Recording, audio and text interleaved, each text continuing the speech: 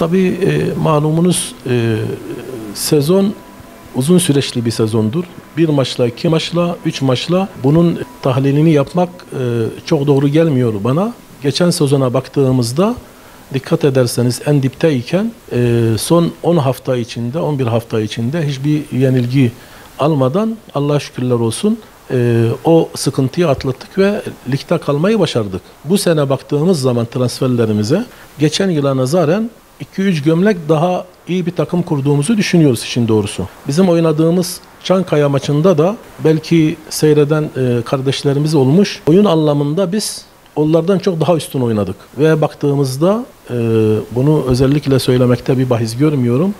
Sadece iki futbolcuya vermiş oldukları paranın paranın tamamını ben neredeyse tüm futbolcularıma dağıtmışım. Arada da ekonomik anlamda da bu kadar da korkunç bir fark var. Ama Allah'ın izniyle bu takım şöyle bir umut verdi Çankaya maçında. Bir takım olduklarını bizlere hissettirdiler ve oyun sistemine yeni gelen futbolcularımız da çabuk uyum sağlamaları bizleri işin doğrusu umutlandırdı. Sol bekle ilgili biraz e, bir eksiklik gördüm. Onu da dün itibariyle çözdük. Bir tane sol bek daha aldık.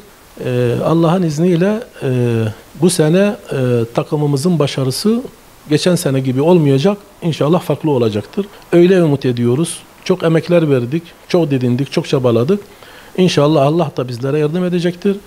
Ee, bu hafta sonu Niğde Spor'la oynayacağız. Siirtli kardeşlerimizin hepsini stada bekliyoruz. Gelsinler takıma destek versinler. Bu takım Siirt'in takımıdır.